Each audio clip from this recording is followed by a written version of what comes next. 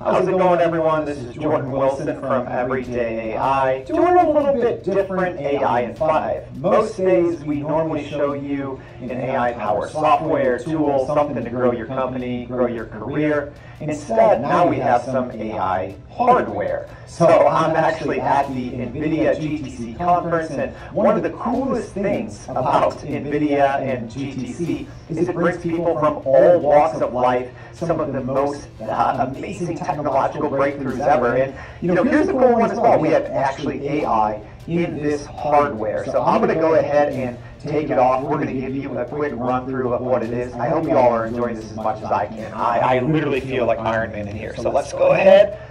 Take this off and introduce uh, Chris Kersey, who uh, is is the inventor of this uh, amazing thing. Chris, tell us a little bit about what we're looking at and how you've used uh, AI in NVIDIA's Jetson to make this thing go. Absolutely. So what I have here is this is NVIDIA's latest Jetson platform. This is the Orin NX 16 megabyte unit, or 16 gigabyte unit, excuse me. And it has uh, basically, it's got two cameras that come into the helmet. Okay. Inside the helmet, there are two displays. These are basically 1440 by 1440 displays. So basically a 2K display system. I run this at 120 hertz and I get about 60 hertz out of the cameras.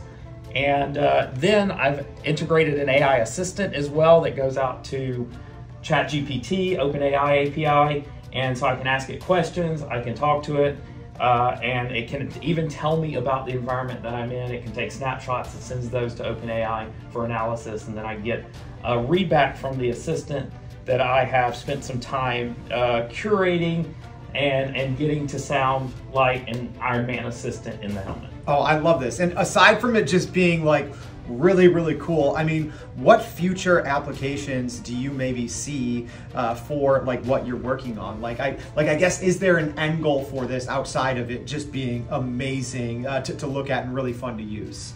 Well, you know, there are some practical applications beyond just being able to wear a cool helmet. I know a lot of people, I've been contacted by some researchers who are interested in this for, um, for some disabled uh, interaction. So if you have uh, vision issues, but you can see things close up, something like this would work for that. Or even uh, applications like doing a full heads-up display inside of like motorcycle helmets or, or cars or, or things like that. Okay, I love it. All right, so we have uh, we, we did a quick walkthrough powered by the uh, NVIDIA Jetson. So let's maybe have you put this on and, and let's kind of see uh, what it can do and, and, test out some of this AI capability. Okay, let's, let's do, it. do, it. This is awesome, by the way. All right, and, and, and Chris, how long did this take you to build? So this was a process that's lasted about three or four years. and uh, it's been a lot of software, a lot of tweaking. The AI is a recent addition last year. And uh, after I got that added, it was basically just tweaking it so it feels more natural so that I can talk to it and the responsive time is really good. Uh, and the vision AI processing I've got done in the past like two weeks. That's um, amazing, amazing. Constantly updating it. So yeah, let's go ahead and see what we got here. Yeah, do you want to try and run some commands here and we can we can see it? Okay, Friday. Is the helmet fully operational? The helmet systems are fully functional and ready for action. All diagnostics are green. Is there a specific function you'd like to check or deploy, boss? Okay, Friday. Can you tell me what I'm looking at? This image shows a workspace, likely for recording audio, with a microphone, laptop, water bottle, and a bag of pistachios on the table.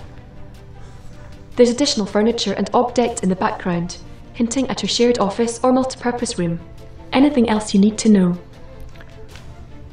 Okay, Friday. Thanks for your help. So that that was an amazing display of how you can combine, uh, you know, some, some NVIDIA hardware here, tapping into OpenAI system. And you saw in real time, running off a hotspot, by the way, how it was able to, to identify different items on the table. Not just that, but also provide some context here, because it even said, you know what's in here appears to be you know a spared uh, or, a shared workspace or a multi-purpose uh, room. So so Chris, uh, uh, let's let's wrap with this. What is uh, your next uh, big thing that you're working on for for your system here? Let's see what's next up. The next up is I'm actually working on a full armor. And so the, the armor is going to include a lot of wireless components that will talk over Wi-Fi to the helmet. I already have some repulsors that I use for costuming that talk wirelessly that include sound activation and full animation through the, the existing system.